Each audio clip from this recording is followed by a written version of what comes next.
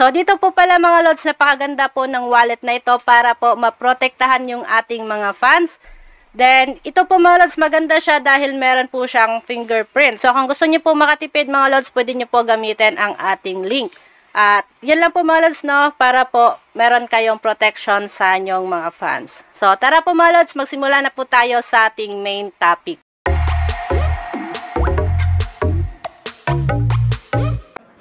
Hi mga Lods! Malagayang pagbabalik dito sa ating channel mga Lods. Kirstine PH po pala. So ngayong araw po mga Lods ay share po pala natin dito sa ating channel itong picture to. So dito po mga Lods ay pwede kayo mag-exchange Bitcoin with PayPal. So maganda po dito sa picture to mga Lods kasi po pwede nga po tayo mag, uh, kumita dito sa pagbebenta po ng ating mga cryptocurrency mga lods. Okay? So, unang-una po mga lods ay kailangan po meron kayong mga PayPal account. So, ito po yung sa PayPal mga lods, mag-register po kayo sa paypal.com. So, para po mga lods, uh, makapag-register is uh, dito po kayo mga lods sa sign up. Ayan. Okay, so gumawa lang kayo ng PayPal account. So, pwede po kayo gumawa dito mga lods ng uh, personal account niyo po sa PayPal. So, meron po silang business account dito mga lods, no?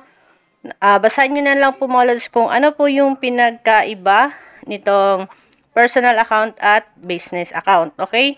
So, click po yung next mga lods. And, uh, dito po maglalagay po kayo kung ano po ba kayo. Online shopper or individual seller of, of freelancer or both po mga lods. Then, click po yung next. Then, dito mga lods is maglalagay po kayo ng uh, number nyo po. Example po yung number natin. Ayan po mga lods. Then, uh, click nyo po yung next mga lods. Then, meron pong security challenge. So, sagutan nyo lang po yan mga lods. Ayan. Then, meron po kayong marireceive na code mga lods sa inyong mga cellphone. So, ilalagay nyo lang po dito mga lods. Okay? Para po makapag-sign up na nga po kayo sa PayPal. So, ganun na po mga lods yung pag-sign up dito sa PayPal. So, ayan po mga lods. Then, kailangan rin po natin dito mga lods ng Binance. So, dito naman sa Binance mga lods ay kailangan natin dito ng uh, cryptocurrency. So, kailangan nyo po mga lods mag-register uh, sa Binance. Gumawa lang po kayo ng account dito. At kapag meron na kayong account dito mga lods, ay lalagyan nyo po siya ng balance. Okay? So, kagaya po dito sa atin mga lods, meron na nga po akong nailagay na balance. Okay?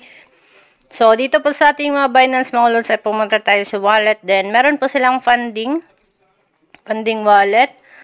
So, dito po sa funding mga lods ay click po natin itong buy sell. Ayan. So, dito po mga lods, uh, bibili tayo ng crypto. Okay. So, ayan. P2P po siya mga lods, no? So, bibili tayo mga lods ng USDT. Then, sa payment mga lods is select nyo po dito yung uh, payment. So, search nyo po dito mga lods yung GCash kasi pwedeng pwede po natin mga lods uh, magamit dito yung GCash. So, ayan naman na natin to mga lods. I-agree.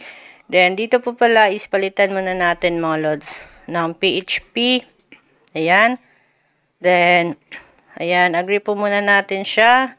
Okay, so kapag okay na mga lods is dito sa payment, palitan po natin ng GCash mga lods. Ayan, meron na pong GCash dito. So, bibili po kayo dito mga lods. Example, bibili kayo ng worth uh, ah, 5,000 pesos. Maghanap tayo dito ng uh, ah, 5,000 pesos po yung limit. So, dito po, click nyo po yung buy USDT. Then, GCash po mga lods yung kanyang payment method. Okay, so click buy by USDT. Then, dito mga lots is, lalagay nyo lang po yung amount, no? Example, 5,000. Or, lalagay natin dito mga lods, 100. So, 5,6 po siya mga lods kung 100 USDT. So, kung 110 is 6,000. Okay? So, yan po mga lods is, ito po yung babayaran natin sa seller. Gamit po ang ating GCash. Okay po mga lods. Then, Uh, click nyo na po dito mga lods yung buy USDT. Okay, so kapag nandito na nga po yung uh, balance natin mga lods dito po sa ating funding wallet, kapag okay na nga po yung transaction natin mga lods, gagawin po natin dito is ililipat po natin siya mga lods. Yung mga balance natin sa funding nandito po yung transfer. Pwede nyo po siya ilipat from funding mga lods to uh, spot mga lods, no? Then, lalagay nyo po yung amount, then click confirm. So, ganun lang mga lods. Then, uh, kapag nandito na siya mga lods sa ating spot, fiat ng spot mga lods is, pwede na natin siya i-trade. So, meron tayo ano dito, 149 na USDT. So, pwede natin siya i-convert mga loads into LTC. Kasi yan po ang gagamitin natin dito sa Pichuto. Dito po kasi sa Pichuto mga loads is meron silang dalawang coin. Meron silang LTC and Bitcoin. So, pipili lang kayo dyan mga loads kung ano po yung uh, gusto nyo pong i-trade sa dalawa. Okay? So, example po mga loads, LTC. So, i-convert na lang po natin yung ating balance. Meron pong convert mga loads ano, dito po, click nyo po yung convert. Same lang din po sa inyong mga cellphone mga lods. Ganun lang din po yung process. So, dito mga lods is yung LTC natin, kakonvert natin into, uh, yung USDT pala natin, kakonvert natin into LTC. For example mga lods, 100. Ayan, then, convert lang siya. Preview conversion. Then, ito na siya mga lods yung LTC 1.1 something, no? So, convert natin mga lods. Ayan, wala pong fee sa pag-convert. Okay, so meron na po siya mga loads, no? Successful na po yung uh, pag-convert natin. So, go to wallet tayo. And makikita na nga po natin mga loads dito po sa ating wallet. So, refresh, uh, ano muna natin? Wait muna natin siya mga loads. And makikita po natin dito mga loads na uh, yung balance po natin dito mga loads is uh, LTC na nga po. Okay? Kasi po, ayan, uh, ah, LTC na po mga loads yung balance natin. Ito po yung value. So, nagtira lang tayo ng counting USDT. So, ganun lang po mga loads yung pag-convert. Then, balik na tayo sa Pichuto natin mga loads. So, dito sa Pichuto po, paano naman po natin magagawang uh, magbenta dito?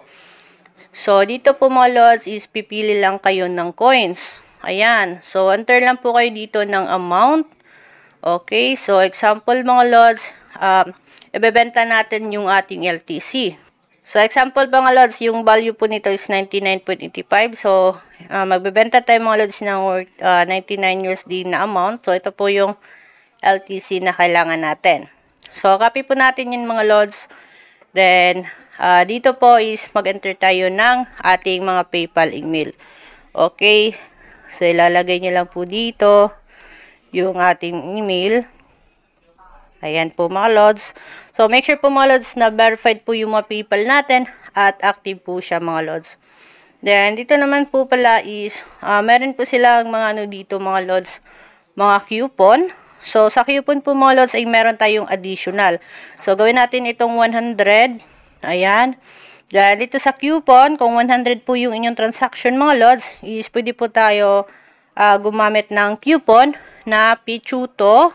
Kap ikapin nyo lang po yan mga lods. Uh, Pichuto 100. Okay? At kapag 200 po yung transaction natin mga lods, ilalagay nyo po dito yung amount, 200. Gagawin nyo po itong Pichuto 200. Para po meron kayong additional po mga lods na makukuha sa inyong mga account. So, kapag 100 mga loads is plus 1% po yung rate sa ating mga order. At kapag 200 is plus 2% po yung uh, fulfillment rate sa ating mga order. So, kapag 350 mga loads, palitan po natin ng 350. Lalagay natin sa coupon. Pichu to 350 plus 3% of your order's fulfillment rate. So, ganun lang po siya mga loads para makuha nyo po yung mga additional po mga loads. Okay? So, pwede po ninyo i-sell yung LTC. So, palitan natin. Ayan. Dito na kayo sa sell LTC now. So, ayan mga lods. Ito po, please send exactly. So, dapat po mga lods, tama po yung isend natin na amount. Then, ito po yung address. So, crypto amount and ito po yung rate. Then, dito po isa-send sa PayPal natin at meron tayong makukuha po, no? So, copy nyo po mga lods yung uh, amount. Then, open nyo pong Binance. Then, dito po kayo sa withdraw. Withdraw nyo po yung LTC. Then, dito po mga lods, kukunin natin yung address. Copy natin. At i-paste natin dito mga lods. Then, after that mga lods is, lalagay na natin dito yung amount. Ito po yung amount. Copy nyo rin po yan mga lods. So, pwede nyo po siya gawin uh, para po makapag-earn rin po kayo dito. Then, dito po mga lods is meron pong network fee na 0.001. Okay, so gagawin natin dito is i-add natin yung fee. And ayan mga lods, dapat po tama po yung amount na send natin. Then, click na nga po natin mga lods yung withdraw. Okay, so ganun lang siya mga lods. Then, kapag okay na mga lods, kapag nakapag-send na tayo dito sa ating uh, Pichuto, is kukunin nyo po yung payment ID. So, ayan, i-copy nyo po yung payment ID, no? Then, uh, dito rin po pala is pwede kayong mag-register. Click nyo po yung register. Then, dito, email address, password, and repeat password. Okay, then, kapag meron ng account, is magla-login na lang. Okay, click natin yung sign in. Then, dito po, i-paste natin yung payment ID, mga lods. Yan, check nyo po. So, ayan mga lods, no? Makikita na po natin yung status po dito. Awaiting confirmation. So, lahat po dito mga lods ay makikita natin. So, kita rin, makikita nyo rin po dito mga lods kung magkano na lang po yung uh, natitirang balance ni Pichuto sa atin. Kung magkano po yung babayaran nila sa atin. Okay? At tandaan nyo po pala mga lods ano, na yung PayPal dapat ay verified at walang problema at meron na pong mga transaction para hindi po kayo uh, magka-problema po dito sa Pichuto. Ayan, meron pong date dito, amount, then kung ano po yung klaseng crypto, okay? Then, wag po kayo magkamali mga lods sa receiver email, okay? So, yun lang po siya mga lods. Then, explore pa natin dito kasi meron pa akong hindi po nababanggit sa inyo. At kung meron po kayong mga, ano dito mga lods, mga hindi po naintindihan ay pwede po kayo mag-request ng beginner's guide. Lalagyan nyo lang po yung email. So, ganun lang po siya kadali mga loads. Tatlong step lang po at pwede na tayo makapag-earn dito sa ating Pichuto. Okay, so meron din po silang FAQ dito mga lods. Then, magkano, uh, kailan po ba magtatagal yung exchange? Then, meron po silang rules at iba pa mga lods. So, what is the minimum? 1 US dollar mga lods is enough na nga po. Pero mas maganda po mga lods no, na mas malaki po yung i-trade natin. Okay? And dito nga po is, uh, pwede nga po tayo pala mga lods maging VIP. Ayan, meron silang mga VIP club dito. Our regular traders earn more and get several benefits. How to join the Pichuto VIP club? So, ang minimum sum of transactions per week for entering the VIP club is $500 mga lods. Then, number 2 is, ang VIP club nila dito gives from 0.5% and up to 3% to the rate of your transaction. So, plus 3% mga lods, no? Depending on your amount of transaction of the calendar week. Number 3 mga lods, in order to join VIP club, you will have to make $500 plus in transaction per week. So, dapat mga lods, mabot niyo po siya. Per week yan mga lods. Then, you will automatically be added to the VIP club. So, kapag na-track nila mga lods na umabot na po kayo ng ganitong amount, automatic na nga po mga lods na added na kayo sa kanilang VIP club. Sign in your account, reach 500 transaction in a calendar week, and the system will automatically calculate your VIP rate on Monday mga lods. Okay? In order to calculate your sum of transaction correctly and make orders of being login via the main site or via account.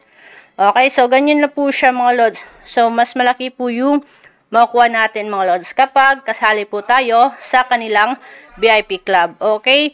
So ito naman po yung mga clients review nila. So ayan, makikita nyo po Pichuto is very usable platform. Ayan, marami pong nagkakagusto dito mga lods. Ayan. So, makikita nyo po lahat. Basta lang po mga lods, dapat po yung PayPal natin ay walang problema. At yung mga PayPal po natin ng mga funds mo lods, pwede nga po natin yun malipat sa ating mga GCash. Okay? So, ayan, nakagawa na po pala sila ng 1,000 plus transaction. Ayan. Meron na po silang 100% positive feedback. Okay? So, nasa sa inyo pa rin yan mga lods if gusto niyo po itong itry. So, at kung nakapag-decide na kayo mga lods, uh, mag-research research po muna kayo kung gusto niyo po ba talaga ito at kung wala po ba kayong may encounter dito na mga problems. So, nare-review lang po natin mga lods itong Pichu to. At yun lang po mga lods sa video natin. Peace out!